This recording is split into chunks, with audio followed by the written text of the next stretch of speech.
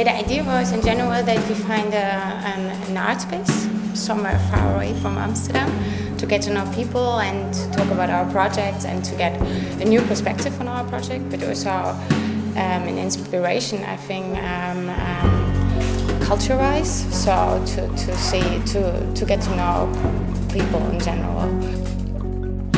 So yeah, we study, our group studies at the Sandberg Institute in Amsterdam. It's a Masters of the Rietveld Academy and um, it's a design department but which focuses on different various media to communicate your message. We came up um, with this connection also because the, the, our department is quite broad in that sense. I mean, it's coming from graphic design, but then there are a lot of um, applied ideas about design that it goes into different medias. And in that sense, we tried also to find a space where we can work with different media and, and also a space that is spontaneously um, inviting us and has space for us. And that was definitely the Kunsthalle. Idea uh, is realizing how easy it is to make connection with people. To that the people are willing to, to help you, to listen to you, or at least to be in touch for who knows something in the next future. So it was anyhow my the same project I'm dealing with even before.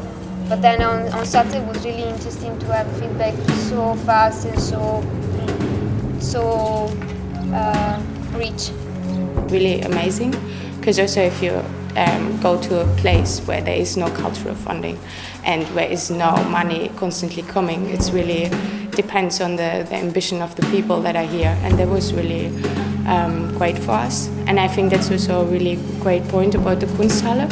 And then also um, how open this is and how inviting. I, I, guess at the beginning we thought, okay, maybe we set up some lectures to talk about our work and just to show our work. But then we came into this um, amazing building that has already so so much of an atmosphere that we also thought, wow, it's actually um, really challenging now to try up, uh, try to build up here things. And um, yeah, I guess that just worked out with the whole community around the Kunsthalle to make it.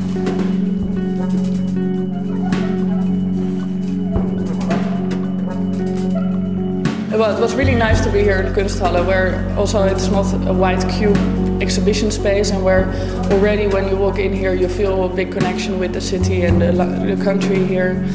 Uh, and that was for, is for us, for us all really important. Uh, wanting to make uh, things which are society aware, it's uh, a really nice place to exhibit our work, and I think we made a really nice show.